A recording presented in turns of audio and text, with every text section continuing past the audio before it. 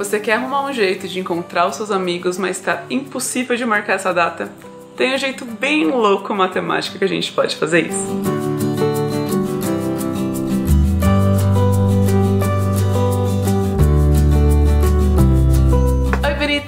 Quem fala é a Julia Jacoldi, a matemaníaca, e como um bom vídeo a gente vai começar com um probleminha. Eu, no caso, tinha um problema com os meus amigos porque a gente queria muito se encontrar todo mês para poder fazer um rolê junto e a gente não sabia como marcar essa data. E aí a gente sabia que terça-feira era um bom dia pra gente se ver, mas a gente não queria só falar Hum, nos vemos na última terça-feira do mês. A gente fez algo muito mais divertido do que isso. A gente combinou que a gente ia se ver toda terça-feira que fosse prima.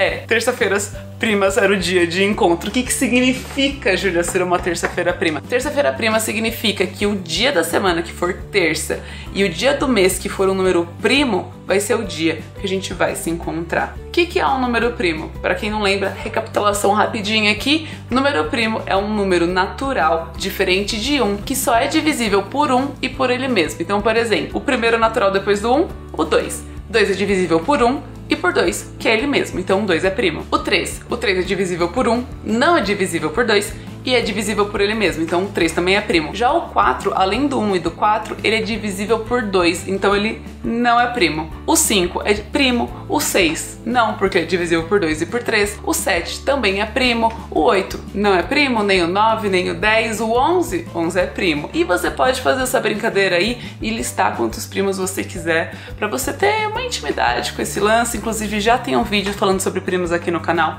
eu vou deixar linkadinho aqui em cima. Você pode ir lá e divirta-se. Show! Então a gente tem terça e a gente tem o número primo, a gente já tem aí algo legal marcado pra gente se ver, mas a gente ainda não sabe se a gente vai conseguir se encontrar todo mês. Então para isso a gente precisa fazer o quê?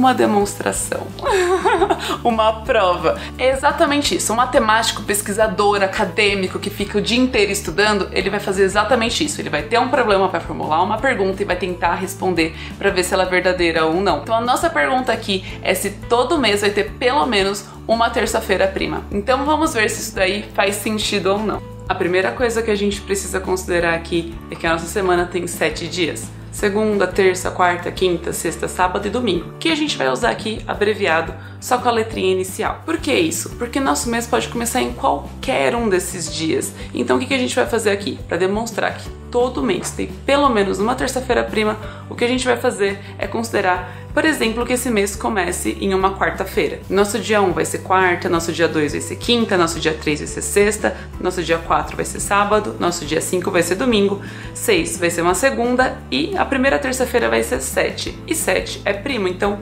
tcharam! Nosso primeiro mês começando numa quarta-feira, já tem uma terça-feira prima, que é do dia 7. Se nosso mês começar em uma quinta, a gente vai ter a segunda terça-feira, terça-feira dia 13, também prima. Se nosso mês começar numa sexta, nossa primeira terça-feira, dia 5, também será prima. Se nosso mês começar em um sábado, por sua vez, nossa segunda terça-feira, dia 11, vai ser prima. Se começar num domingo, a primeira terça-feira, dia 3, também prima.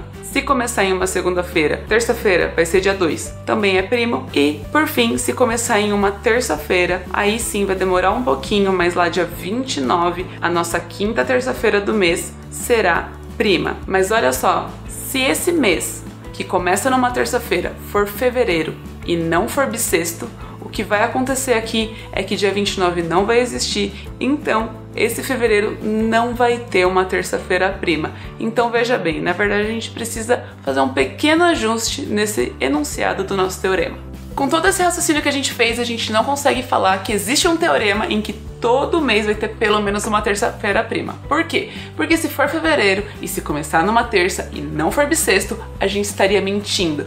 E teorema, brother, é coisa séria. A gente só vai falar que é teorema se valer sempre, em todos os casos. Inclusive, se você quiser saber mais sobre teorema, já sabe, clica aqui e vai lá descobrir o que é um. Então, no fundo, no fundo, o que a gente precisa fazer aqui é dar uma reformulada do enunciado desse teorema. O que esse teorema pode dizer é: Todo mês tem pelo menos uma terça-feira prima, exceto fevereiros de anos não bissextos que começam em uma terça-feira.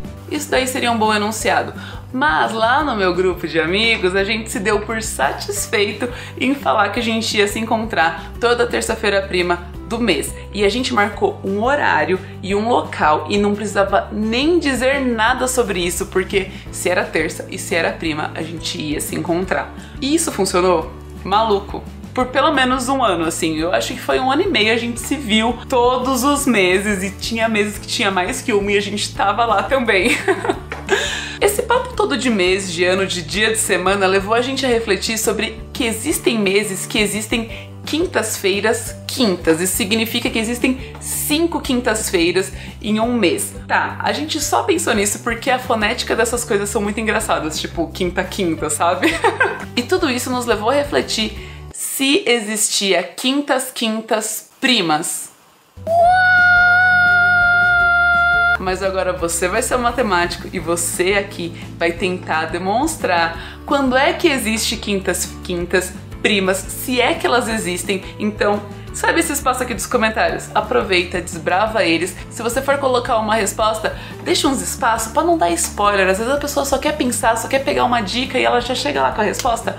Não é legal. O que a gente quer aqui é tentar até a gente conseguir sozinho um raciocínio que chegue a essa resposta. Existem quintas quintas primas? Bom, gente, é isso. Se você gostou desse vídeo, você provavelmente vai gostar desses vídeos que estão passando aqui do lado. Não esqueça de se inscrever nesse canal, dar um joinha, compartilhar com seus amigos, envia aí no WhatsApp, vai que é uma dica para você também encontrar os amigos de vocês. Todos os nomes que estão passando aqui embaixo são bonitos que apoiam financeiramente o canal da Juju para que esses vídeos aconteçam. Se você também quiser apoiar, primeiro link aqui na descrição. E é isso. Beijinhos e bons estudos!